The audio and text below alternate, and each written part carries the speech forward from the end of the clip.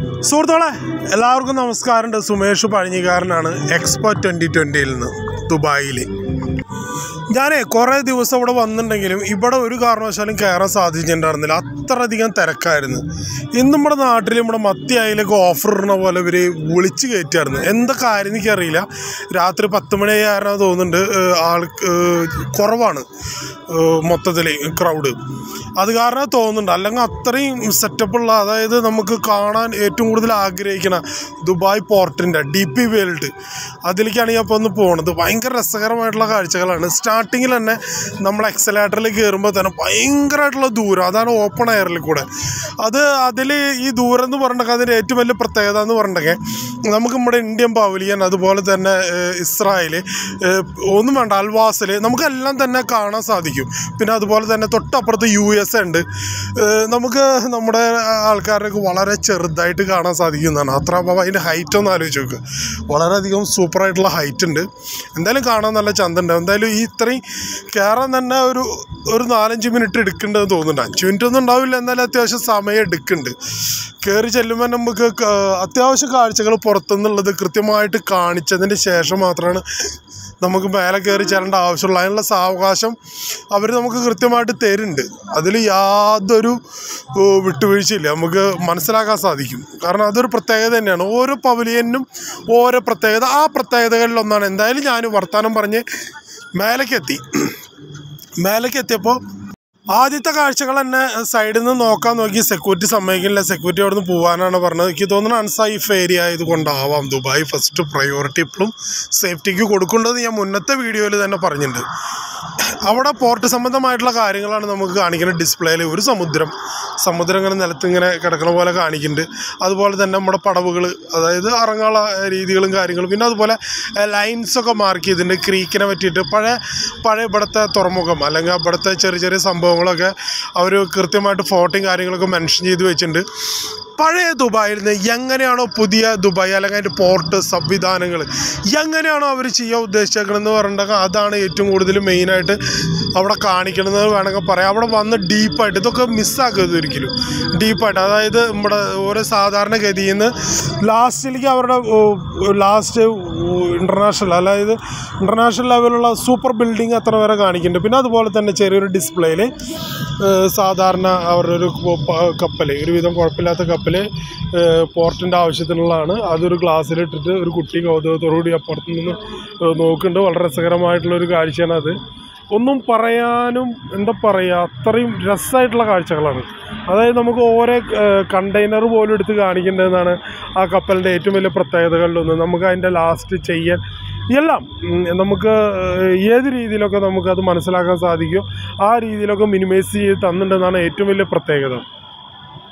അതുപോലെ തന്നെ ദുബായ് പോർട്ടിൽ ഇപ്പോഴത്തെ സ്ഥിതിവിശേഷങ്ങളും കാര്യങ്ങളും അവർ അവരുടേതായിട്ടുള്ള ഇപ്പോൾ ഡിജിറ്റലായിട്ടും അതുപോലെ അവരെത്ര മുൻ മുന്നോട്ട് പോയി എന്നുള്ള കാര്യങ്ങൾ അത് കൃത്യമായിട്ട് തന്നെ രേഖപ്പെടുത്തിക്കൊണ്ട് അതായത് അവരുടേതായിട്ടുള്ള ഫുൾ സെറ്റപ്പ്സ് അതായത് ആ ഡിസ്പ്ലേയിലൂടെ കാണിക്കേണ്ട ക്രെയിനായാലും കംപ്ലീറ്റ് കാര്യങ്ങളായാലും അതിൽ അതായത് ഏറ്റവും ടോപ്പ് ഫ്ലോറിൽ അത് കാണിക്കാൻ ശ്രമിക്കുന്നുണ്ടെന്ന് നമുക്ക് മനസ്സിലാക്കാൻ സാധിക്കും നമുക്ക് ഉൾക്കൊള്ളാൻ സാധിക്കും. സെന്ററിൽ തന്നെ ഒരു ഒരു നമുക്ക് കാര്യങ്ങൾ എക്സ്പ്ലെയിൻ ചെയ്യാൻ വേണ്ടിയിട്ട് ഒരു ഒരു ആഫ്രിക്കൻ കൺട്രിക്കാരുണ്ട്. പിന്നെ അതുപോലെ തന്നെ തൊട്ടപ്പുറത്ത് തന്നെ ഒരു ഡിസ്പ്ലേ ഒക്കെ എടുക്കുന്നുണ്ട്. ആർക്കും വേണമെങ്കിലും ചെന്ന് നോക്കാം. അത് എക്സ്പ്ലെയിൻ ചെയ്യാനൊന്നും ആരുമില്ല. ഒരു ഭൂമിയുടെ ചിത്രമാണ്. അതിലിപ്പോൾ സീ പോർട്ടിനെ സംബന്ധിച്ച് സമുദ്രത്തെ സംബന്ധിച്ചുള്ള കാഴ്ചകളാണ്. നമുക്ക് ഇതിപ്പോൾ നോക്കിക്കാൻ സമയമില്ലാത്ത നമ്മൾ വീണ്ടും യാത്ര തുടങ്ങി യാത്ര തുടങ്ങിയ ടോപ്പ് നിന്ന് അടിയിലേക്ക് ഇറങ്ങുകയാണ്. അടിയിലേക്ക് ഇറങ്ങുമ്പോൾ തന്നെ നമുക്ക് സാധാരണ ഒരു ക്യൂരിയോസിറ്റി ഉണ്ടാവില്ല. അടിയിൽ എന്താ നടക്കണമെന്നുള്ളത് അപ്പോൾ സൈഡിൽ കൂടെ എല്ലാവരും എത്തിച്ചു നോക്കണ പോലെ ഞാനും എത്തിച്ചു എത്തിച്ച് നോക്കി. എന്താ സംഭവം എന്ന് അറിയാൻ വേണ്ടിയിട്ട്. നോക്കണമായിരുന്നു അടിയിൽ വലിയൊരു വാട്ടർ ഫോൾസിന്റെ അതായത് ഒരു സെറ്റപ്പാണ് അപ്പോൾ അവിടെ ഒരു മൂന്ന് നില നാല് നില അടിയിലേക്ക് പോയാലാണ് നമുക്ക് ഇത്രയും താഴത്തേക്ക് എത്താൻ പറ്റുള്ളത് കാണാൻ പറ്റുള്ളൂ. അപ്പോൾ നമുക്ക് ഈ നാല് നില ചെയ്യുമ്പോൾ നിങ്ങൾക്ക് ചിന്തിക്കാവുന്നുള്ള പുറത്തെ എക്സലേറ്റർ എത്ര ഇതിലാവും കൊടുത്തിട്ടുണ്ടാവുക. അപ്പോൾ നമ്മൾ മെല്ലെ മെല്ലെ നടന്ന് നടന്ന് നടന്ന് നടന്ന് നടന്ന് പോയി. പിന്നെ വേറെ കാര്യം ഒരു കാര്യം പറയണ്ടേ? എന്താ കാര്യം എന്നറിയും?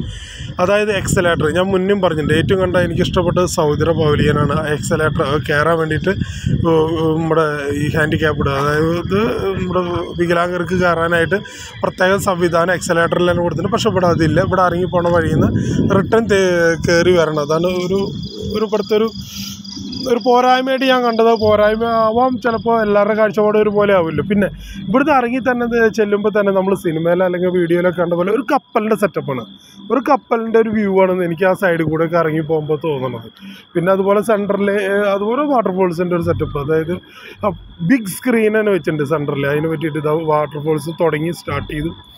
അവർ സെക്കൻഡ്സ് ടൈം ഇട്ടിട്ടുണ്ടായിരുന്നു. അത് വളരെ ഭംഗിയായിട്ടുള്ള ഒരു വാട്ടർ വാട്ടർഫോൾസ് ആയിരുന്നു. അതായത് നമുക്കൊരു സർക്കിളിൽ മാത്രം. നമ്മൾ വിചാരിച്ച പോലെ അടിയിൽ നിന്ന് ഇങ്ങനെ തുളുമ്പിയിട്ടുള്ള പരിപാടികളൊന്നുമില്ല. ഞാൻ അങ്ങനെ വിചാരിച്ചിട്ടുണ്ടായിരുന്നു. ഇത് വളരെ സിമ്പിളായിട്ട് സെന്ററിൽ കൂടെ അത് തന്നെ പ്രത്യേക ഡിസൈനിലും കാര്യങ്ങളിലൊക്കെയാണ് വെള്ളം വീണായിരുന്നത്. അത് തന്നെ കാണാൻ നമുക്ക് വളരെ പ്രത്യേക ആകർഷണം. എന്തായാലും ഡി പി വേൾഡ് മോശമല്ല കേട്ടോ നമുക്ക് അവിടെ വന്ന നമുക്കൊരു ഒരു നമുക്ക് എന്തെങ്കിലും കണ്ടതായിട്ട് ഒരു ഫീൽ ചെയ്യും. കാരണം ഒത്തിരി കാഴ്ചകൾ അവിടുത്തെ ഡിസൈനുകൾ പിന്നെ അതുപോലെ തന്നെ അവരുടെ കടലിന്റേതായിട്ടുള്ള ഒരു കാട്. അതായത് ഇപ്പോഴത്തെ പുതിയ പുതിയതായിട്ട് വരുന്ന ഡി പി വേൾഡ് അതായത് ദുബായ് പോർട്ടിനെ പറ്റിയിട്ട് ഒരുപാട് കാര്യങ്ങൾ അവർ പറയാൻ ശ്രമിച്ചിട്ടുണ്ട്. അതായത് അതൊരു പ്രത്യേകത തന്നെയാണ്. കാരണം അവർ ഇത്രയും കാശ് മുടക്കിയിട്ട് ഇത്രയും കാര്യങ്ങൾ ചെയ്തിട്ടുണ്ടെങ്കിൽ അതിനനുസരിച്ചുള്ള ഒരു ബെനിഫിറ്റും അതിനനുസരിച്ചുള്ള ഒരു നമുക്കുള്ള കാഴ്ചകൾ ഉണ്ടെന്നാണ് ഏറ്റവും വലിയത് അത് ഈ അതിൽ നിസ്സംശയം നമുക്ക് പറയാൻ പറ്റുന്ന ഒരു കാര്യം അത്. കാരണം കുറേ ബിൽഡിങ്ങുകളുണ്ട് ഞാൻ തന്നെ പറഞ്ഞില്ലേ നമുക്ക് ഒരുപാട് പ്രതീക്ഷകൾ രാജ്യത്തിന്റെ പേരിനെ കേൾക്കുമ്പോൾ വളരെ അഡ്വാൻസ്ഡ് ആയിട്ടുള്ള രാജ്യങ്ങളാണ് തോന്നിയാലും പക്ഷേ ഒന്നുമില്ലാത്തൊരവസ്ഥയിൽ നമ്മൾ ഇറങ്ങി വരാറുണ്ട്. എന്റേതായിട്ടുള്ള കാഴ്ചപ്പാടാണ് പറഞ്ഞത്. പക്ഷേ ഇത് അതിൽ നിന്ന് വ്യത്യസ്തമായിട്ട് ദുബായിലെ തന്നെ. എമിറേറ്റ്സ് യു എ അങ്ങനെ പലതും ഇവിടെ ഉണ്ടെങ്കിലും ഈ ഡി പി വേൾഡ് അത് അതിന്റേതായിട്ടുള്ള പ്രത്യേകതകൾ വളരെയധികം അറിയിക്കുന്നുണ്ട്. പിന്നെ വാട്ടർഫോൾസിന്റെ ഇടയിലാണ് ഞാൻ ഈ വീഡിയോ ഒക്കെ എടുക്കുന്നത്. അത് സെന്ററിൽ നടന്നുകൊണ്ടിരിക്കുന്നുണ്ട്. സ്ക്രീനിന്റെ കാര്യങ്ങളാണ് എടുക്കുന്നത്. അപ്പോൾ ഇത് ഈ സെന്റർ ആയാലും പിന്നെ അതിങ്ങനെ എന്താ പറയുക ചുറ്റണമാതിരിയിട്ടുള്ള വീഡിയോസും കാര്യങ്ങളൊക്കെ ഉണ്ട്.